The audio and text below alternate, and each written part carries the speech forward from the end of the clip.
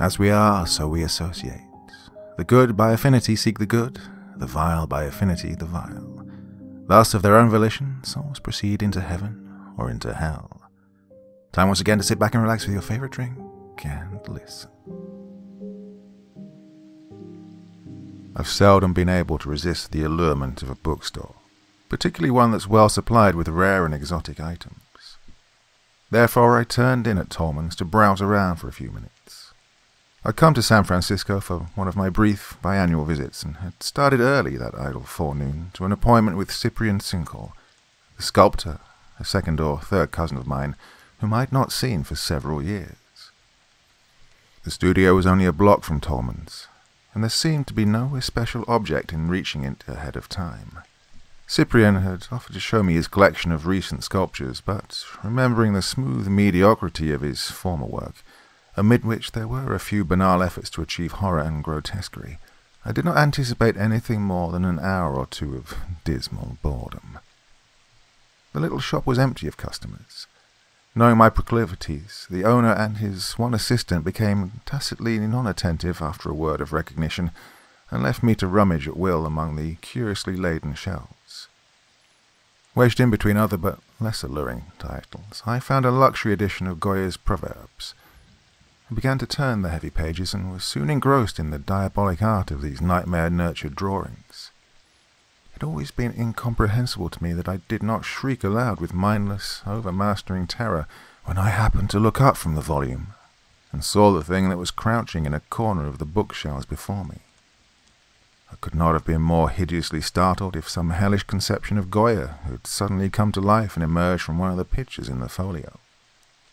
What I saw was a forward-slouching, vermin-grey figure, wholly devoid of hair or down or bristles, but marked with faint, etiolated rings like those of a serpent that has lived in darkness.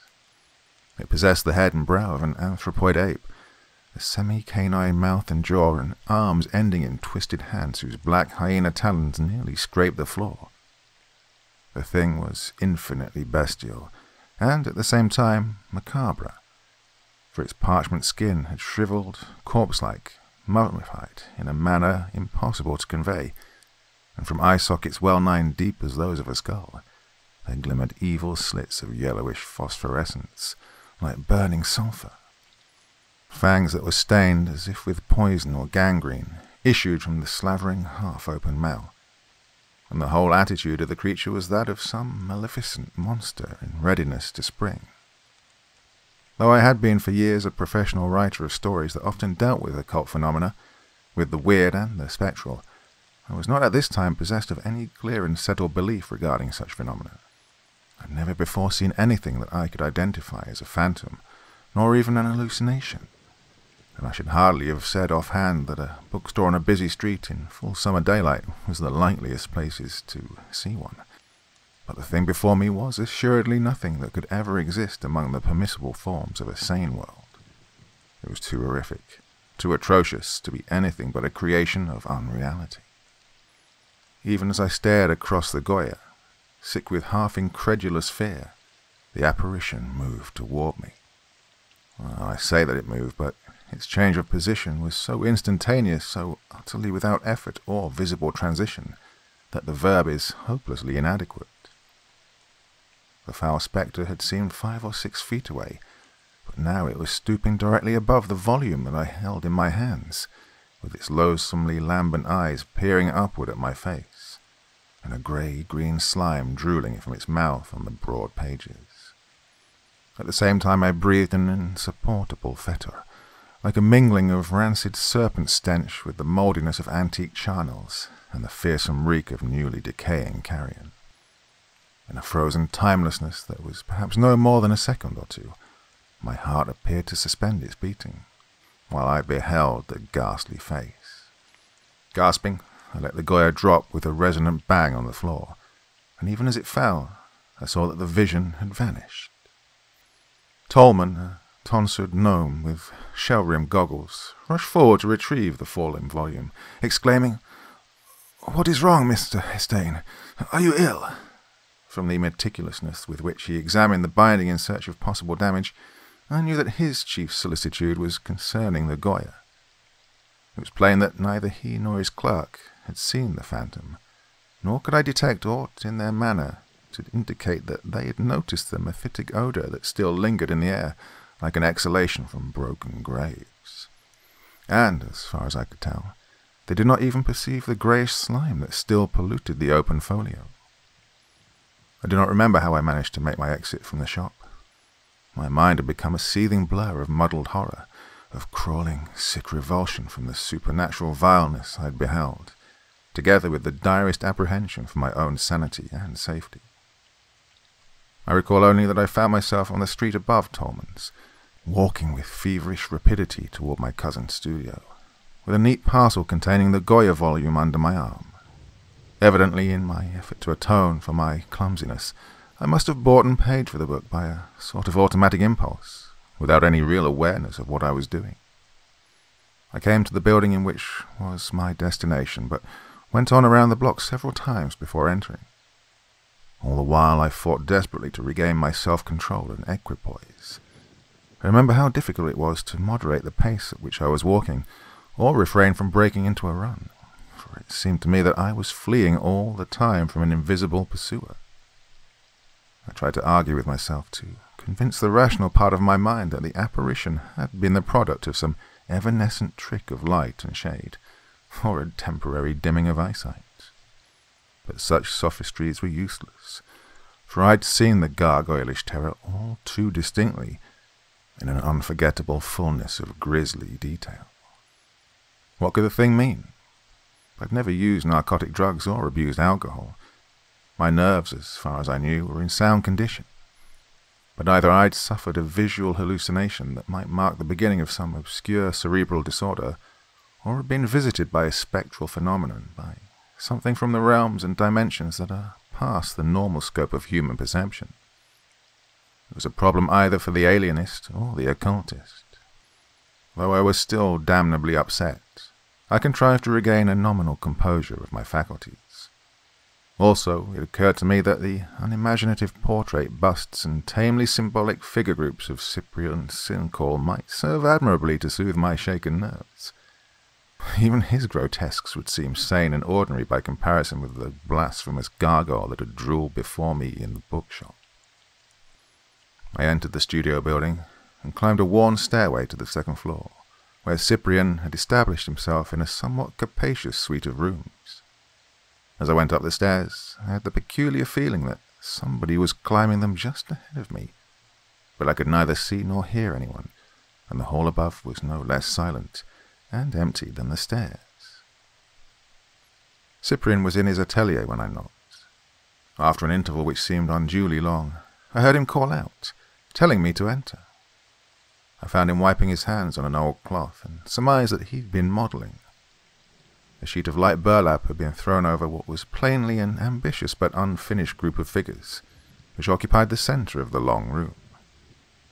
All around were other sculptures in clay, bronze, marble, and even the terracotta and steatite which he sometimes employed for his less conventional conceptions. At one end of the room there stood a heavy Chinese screen. At a single glance I realized that a great change had occurred, both in Cyprian Sincoll and his work. I remembered him as an amiable, somewhat flabby-looking youth, always dapperly dressed with no trace of the dreamer or visionary. Oh, it was hard to recognize him now, for he had become lean, harsh, vehement, with an air of pride and penetration that was almost Luciferian. His unkempt mane of hair was already shot with white, and his eyes were electrically brilliant with a strange knowledge, and yet somehow they were vaguely furtive, as if there dwelt behind them a morbid and macabre fear. The change in his sculptures was no less striking. The respectable tameness and polished mediocrity were gone, and in their place, incredibly, was something little short of genius. More unbelievable still, in view of the laboriously ordinary grotesques of his earlier phase, was the trend that his art had now taken. All around me were frenetic, murderous demons, satyrs mad with nympholepsy, ghouls that seemed to sniff the odours of the charnel, lamias voluptuously coiled about their victims, and less nameable things that belonged to the outland realms of evil myth and malign superstition sin, horror, blasphemy, diablerie, the lust and malice of pandemonium, all had been caught with impeccable art. The potent nightmarishness of these creations was not calculated to reassure my trembling nerves, and all at once I felt an imperative desire to escape from the studio, to flee from the baleful throng of frozen cacodemons and chiseled chimeras. My expression must have betrayed my feelings to some extent. Pretty strong work, aren't they? Said Cyprian in a loud, vibrant voice with a note of harsh pride and triumph. I can see that you're surprised. You didn't look for anything of the sort, I dare say. No, candidly, I didn't, I admitted. Good Lord, man, you will become the Michelangelo of diabolism if you go on at this rate. Where on earth do you get such stuff? Yes, I've gone pretty far, said Cyprian, seeming to disregard my question. Further even than you think, probably. If you could know what I know, could see what I have seen, you might make something really worthwhile out of your weird fiction, Philip. You are very clever and imaginative, of course, but you've never had any experience. Well, I was startled and puzzled. Experience? Um, what do you mean? Precisely that. You try to depict the occult and the supernatural without even the most rudimentary first-hand knowledge of them. I tried to do something of the same sort in sculpture years ago, without knowledge, and doubtless you recall the mediocre mess that I made of it, but I've learned a thing or two since then. Sounds as if you made the traditional bond with the devil, or something of the sort, I observed with a feeble and perfunctory levity. Cyprian's eyes narrowed slightly, with a strange, secret look. I know what I know. Never mind how or what. The world in which we live isn't the only world and some of the others lie closer at hand than you think. The boundaries of the seen and the unseen are sometimes interchangeable. Recalling the malevolent phantom, I felt a peculiar disquietude as I listened to his words. An hour before, his statement would have impressed me as mere theorizing, but now it assumed an ominous and terrifying significance. What makes you think I have no experience of the occult? I asked. Well, your stories hardly show anything of the kind, anything factual or personal. They are all palpably made up. When you've argued with a ghost, or watched the ghouls at mealtime, or fought with an incubus, or suckled a vampire, you may achieve some genuine characterization and color along such lines. Well, for reasons that should be fairly obvious, I had not intended to tell anyone of the unbelievable thing at Tolman's, now with a singular mixture of emotions, of compulsive, eerie terrors, and desire to refute the animadversions of Cyprian, I found myself describing the phantom. He listened with an inexpressive look, as if his thoughts were occupied with other matters than my story. Then, when I'd finished, oh, You're becoming more psychic than I imagined.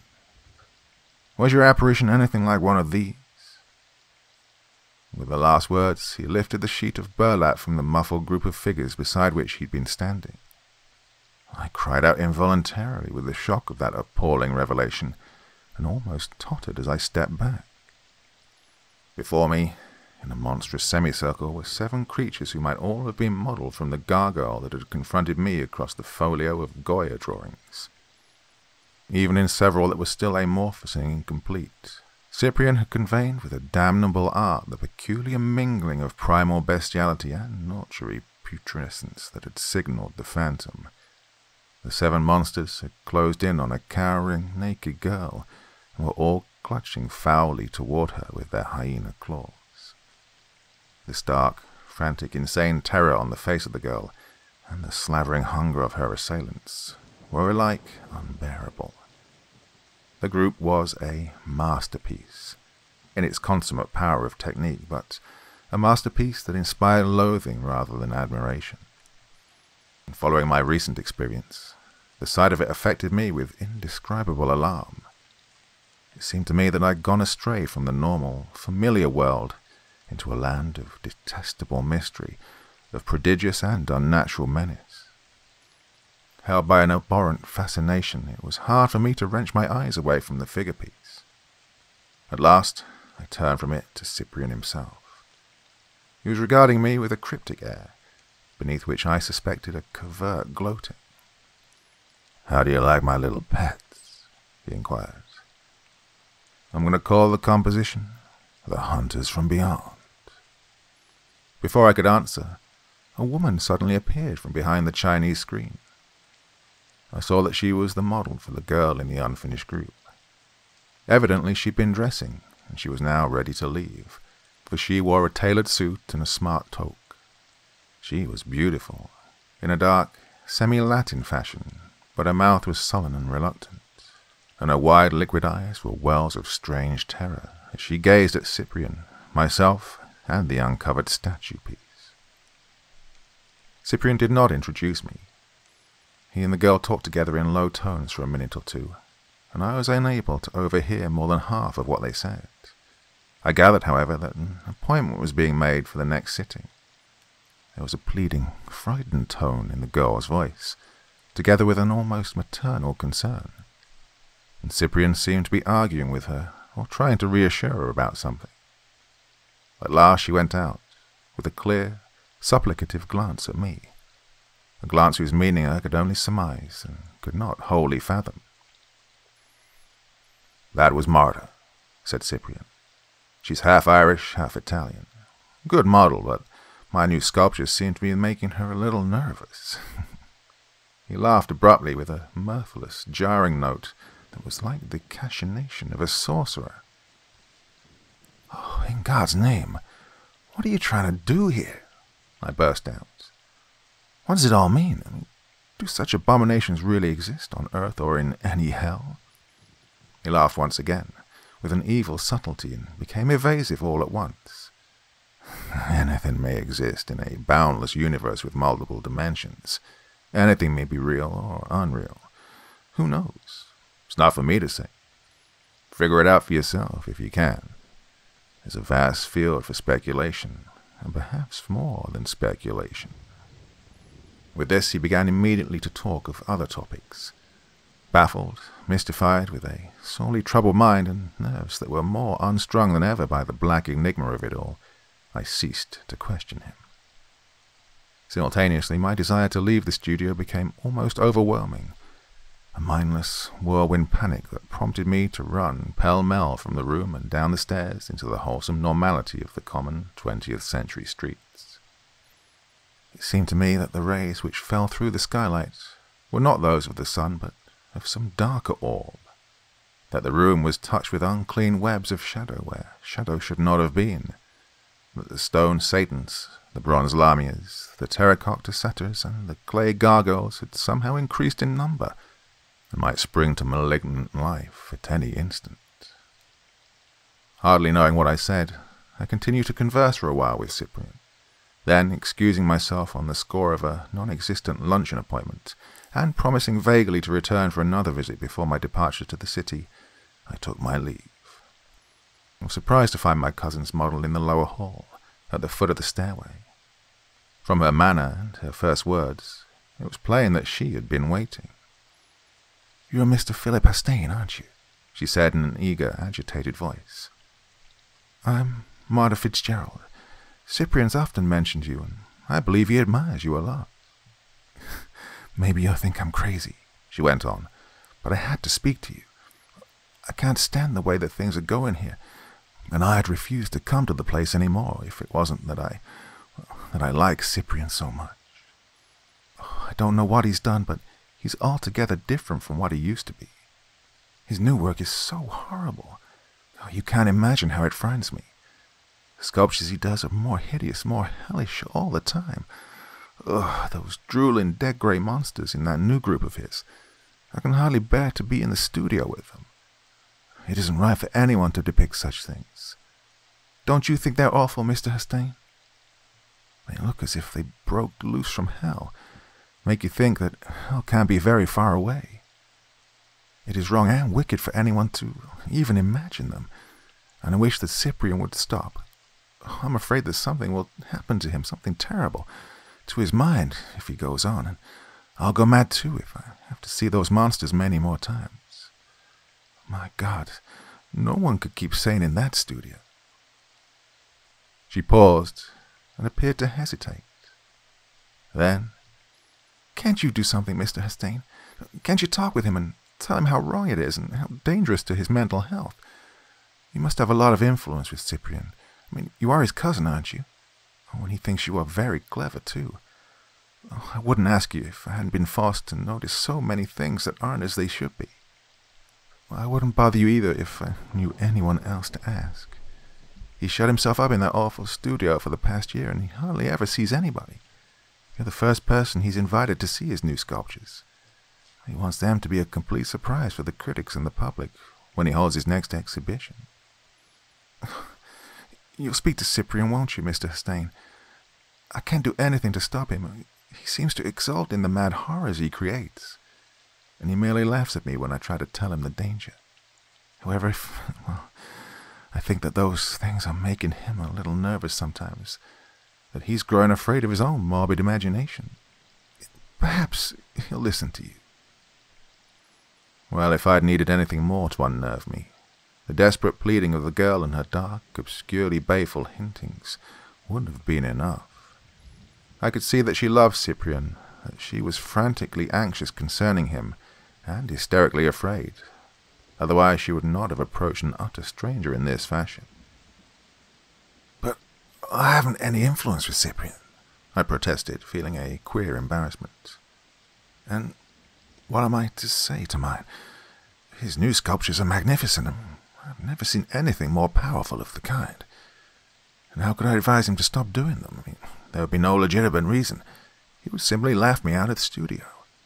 An artist has the right to choose his own subject matter, even if he takes it from the nether pits of limbo and Erebus. Well, the girl must have pleaded and argued with me for many minutes in that deserted hall. Listening to her and trying to convince her of my inability to fulfill her request was like a dialogue in some futile and tedious nightmare. During the course of it, she told me a few details that I am unwilling to record in this narrative, details that were too morbid and too shocking for belief, regarding the mental alteration of Cyprian, and his new subject matter and method of work. There were direct and oblique hints of a growing perversion, but somehow it seemed that much more was being held back, that even in her most horrifying disclosures she was not wholly frank with me. At last, with some sort of hazy promise that I would speak to Cyprian, that I'd remonstrate with him, I succeeded in getting away from her and returned to my hotel. The afternoon and evening that followed were tinged as by the tyrannous adumbration of an ill dream. I felt that I'd stepped from the solid earth into a gulf of seething, menacing, madness-haunted shadow, and was lost henceforward to all rightful sense of location or direction. It was all too hideous and too doubtful and unreal. The change in Cyprian himself was no less bewildering, and hardly less horrifying than the vile phantom of the bookshop, and the demon sculptures that displayed a magisterial art. It was as if the man had become possessed by some satanic energy or entity. Everywhere that I went, I was powerless to shake off the feeling of an intangible pursuit, of a frightful, unseen vigilance. It seemed to me that the worm-grey face and sulphurous eyes would reappear at any moment, that the semi-canine mouth with its gangrene-dripping fangs might come to slaver above the restaurant table at which I ate, or upon the pillow of my bed. I did not dare reopen the purchased Goya volume, for fear of finding that certain pages were still defiled with a spectral slime. I went out and spent the evening in cafes, theatres, wherever people thronged and the lights were bright. It was after midnight when I finally ventured to brave the solitude of my hotel bedroom. Then there were the endless hours of nerve-wrung insomnia, of shivering, sweating apprehension beneath the electric bulb that I had left burning. Finally, a little before dawn, by no conscious transition and with no premonitory drowsiness, I fell asleep. I remember no dreams, only the vast incubus-like oppression that persisted even in the depth of slumber as if to drag me down with its formless, ever-clinging weight into gulfs beyond the reach of created flight or the fathoming of organized entity. It was almost noon when I awoke, and found myself staring into the verminous, apish, mummy-dead face and hell-illumined eyes of the gargoyle that had crouched before me in the corner of Tolman's. The thing was standing at the foot of my bed, and behind it, as I stared, the wall of the room, which was covered with a floral paper, dissolved in an infinite vista of greyness, teeming with ghoulish forms that emerged like monstrous misshapen bubbles from plains of ulgulant ooze and skies of serpentine vapour. It was another world, and my very sense of equilibrium was disturbed by an evil vertigo as I gazed.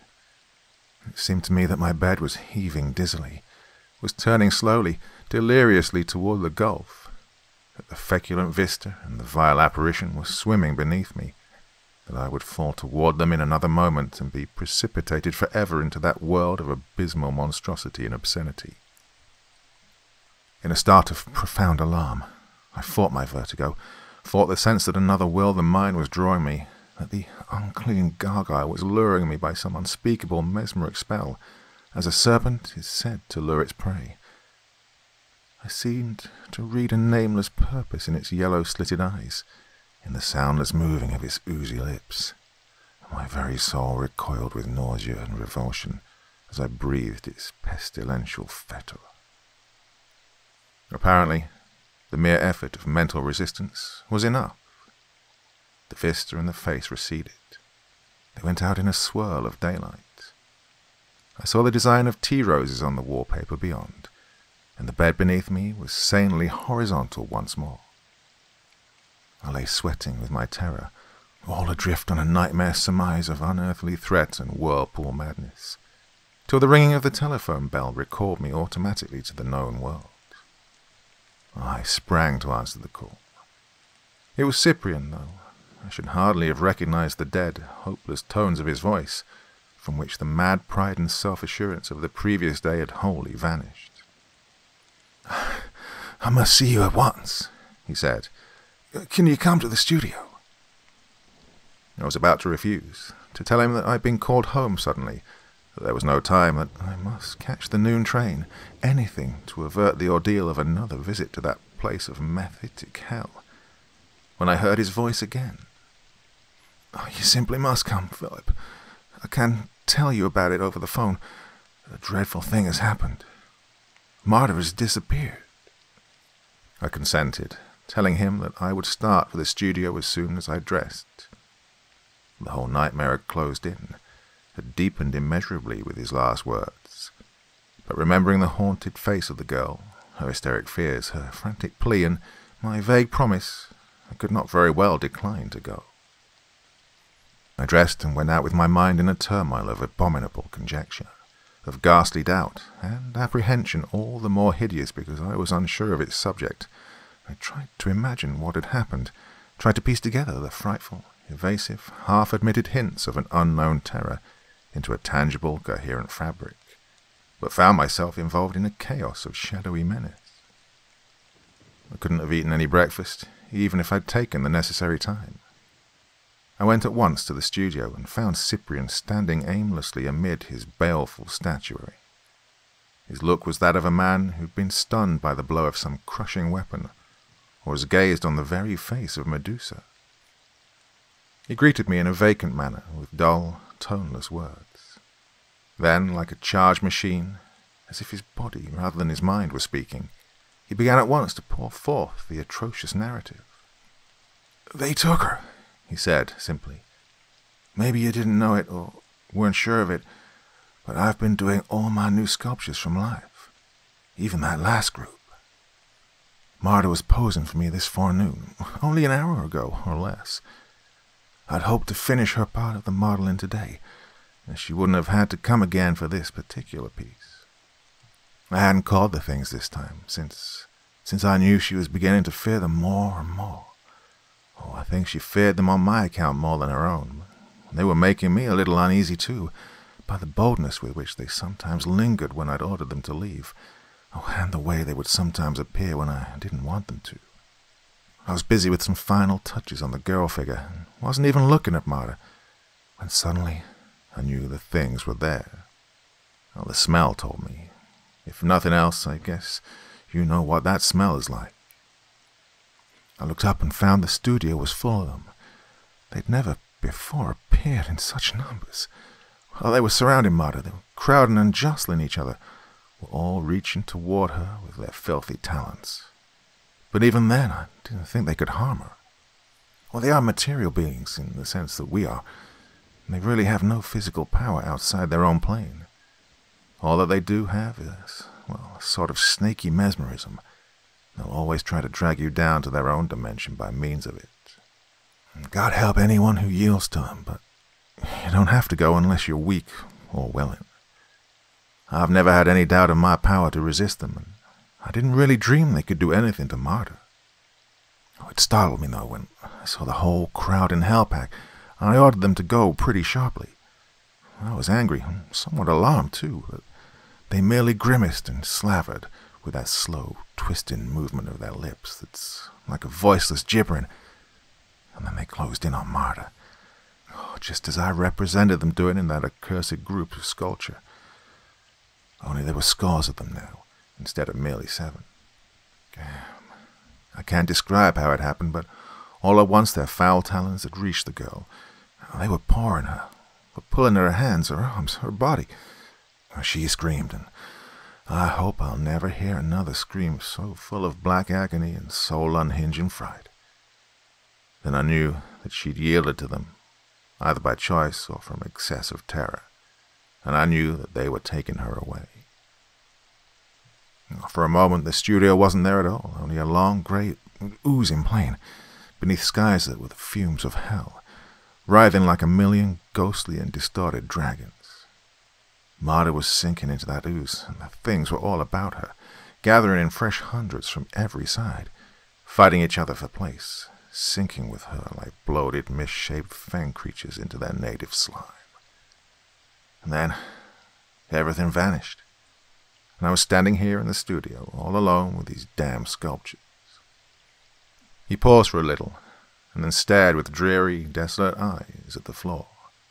And then, it was awful, Philip, and I'll never forgive myself for having anything to do with those monsters.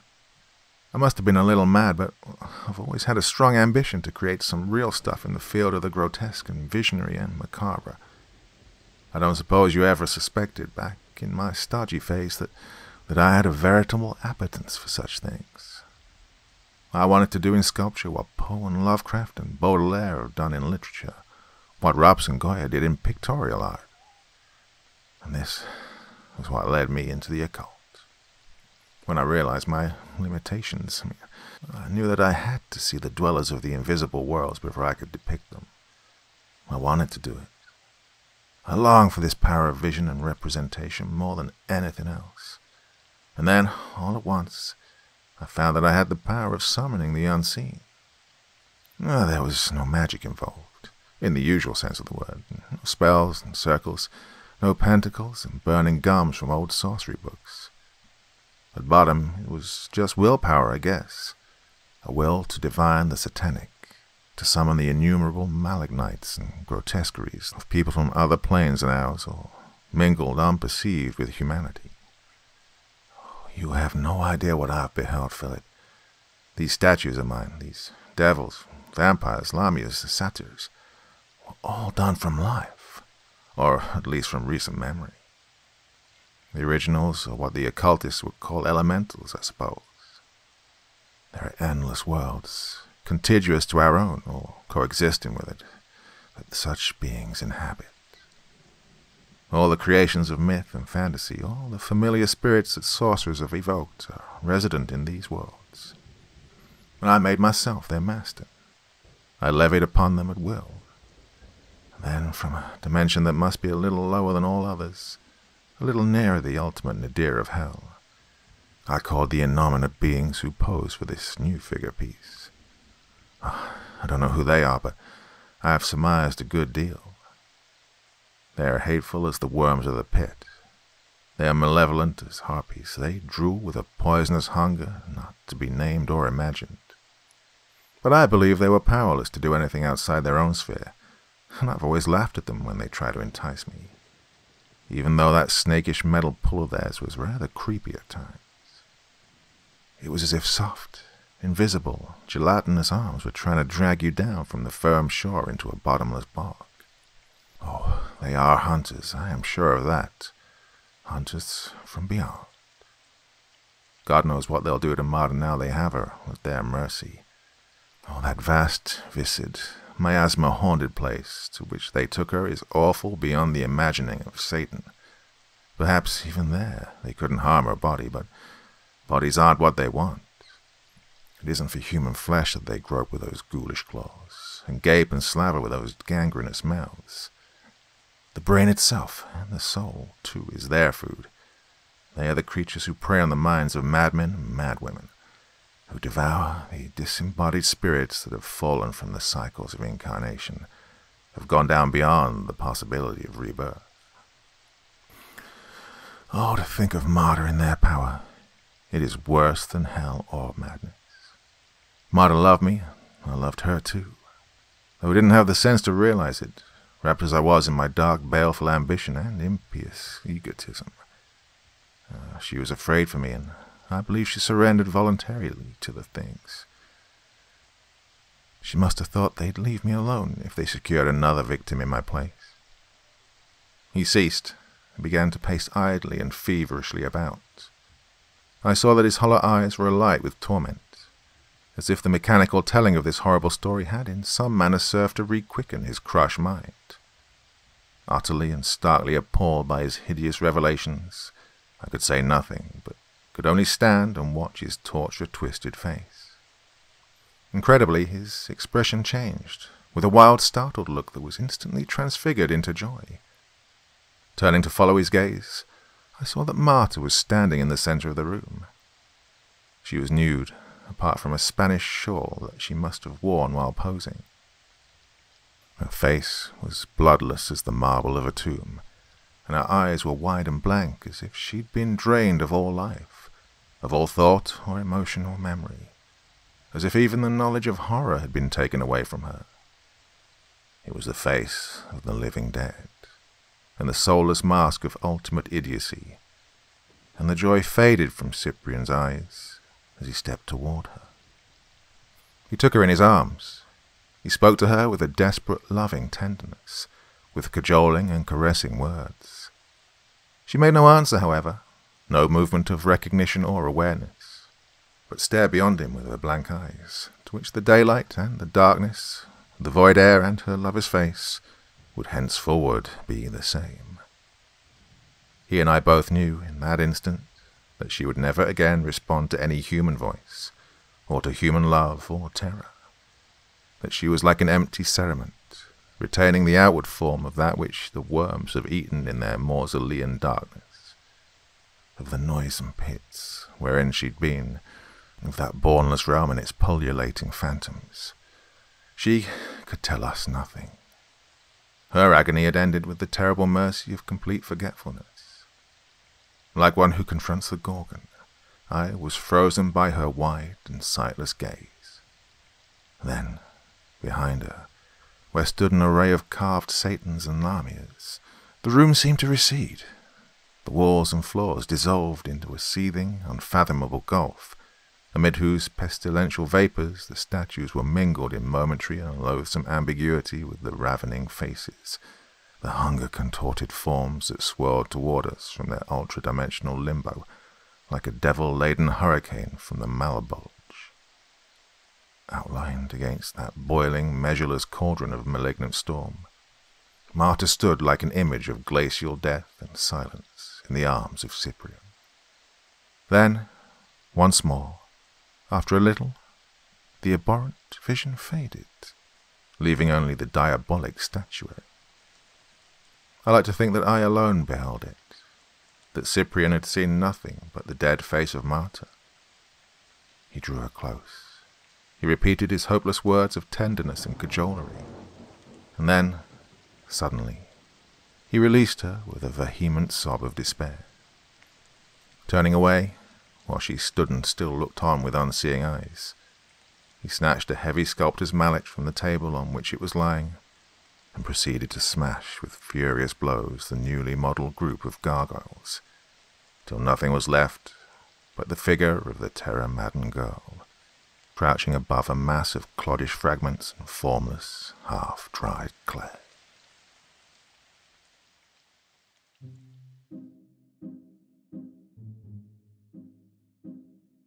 So I did promise you hour-long stories um, much more often during this troubled period for us all, but couldn't quite make it tonight, but that's a good 40 minutes for you. Hope you enjoyed that one. Another classic from back in the day. Um, well, if you look on the communities tab, I have promised some uh, more modern stuff coming up very soon. We're going to return to the Vatican archives, you all seem to enjoy that, and some more of the uh, military classified uh, paranormal stories as well, just to keep you all busy while you're shut inside at home. If you listen to this in the future, uh, we're in the middle of the coronavirus lockdown, and, um, well, trying to get through it all together, aren't we? Well, my dear friends, I'll be back again with you very soon. That's all for me this evening, but you take care, alright? Stay safe. See you soon. Bye bye.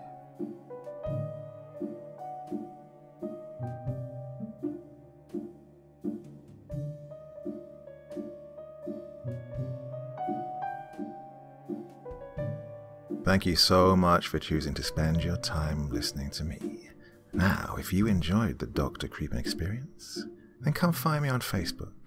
Come chat with me on Twitter. Listen to the background music and download it if you like on SoundCloud. Drop by the store, pick up a t shirt. And, importantly, if you've got a story you'd like me to read, send it to Dr. Creepen's Vault, the subreddit I set up so that I could read your stories. Now, looking forward to seeing you all again real soon. So, come check me out, okay?